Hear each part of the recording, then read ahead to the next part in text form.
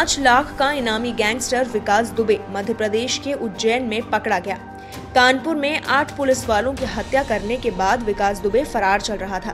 फरीदाबाद से भागकर उज्जैन पहुँच गया। अब कांग्रेस की ओर से इस सरेंडर पर कई तरह के सवाल खड़े किए जा रहे हैं। यूपी कांग्रेस की ओर से इस पर ट्वीट किया गया। यूपी कांग्रेस की ओर से ट्वीट कर नरोत्तम मिश्रा और कानपुर के कनेक्शन को बताया गया है। कांग्रेस ने ट्वीट कर कहा कि चुनाव में नरोत्तम मिश्रा कानपुर के प्रभारी थे और अब वो उज्जैन के प्रभारी हैं।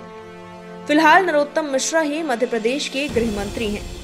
यूपी कांग्रेस ने गुरुवार को विकास दुबे को लेकर ट्वीट किया है, जिसमें उन्होंने कहा कि आप क्रोनोलॉजी से जुड़े कुछ तथ्य समझिए। विकास दुबे उज्जैन से गिरफ़्तार हुआ।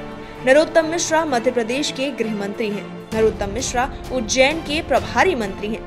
नरोत्तम मिश्रा कानपुर चुनाव में प्रभारी थे। विकास दुबे कानपुर का रहने वाला है।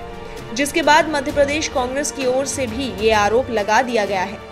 मध्य प्रदेश कांग्रेस की ओर से ट्वीट किया गया कि गृह मंत्री नरोत्तम मिश्रा यूपी चुनाव में कानपुर के प्रभारी थे और अभी उज्जैन के प्रभारी हैं।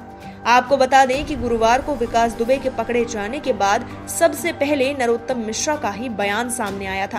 नरोत्तम मिश्रा ने कहा था कि हमारी पुलिस किसी को नहीं छोड़ती है विकास को गिरफ़्तार कर लिया है।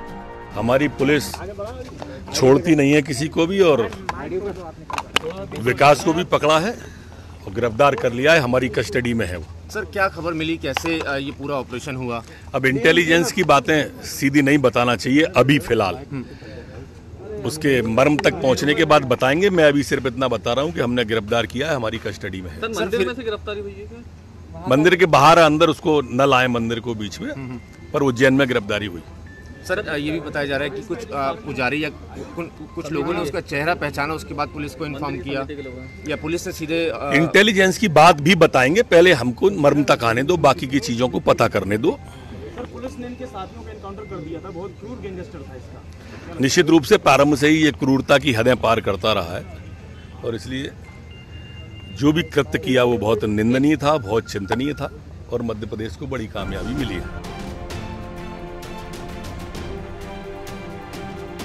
News desk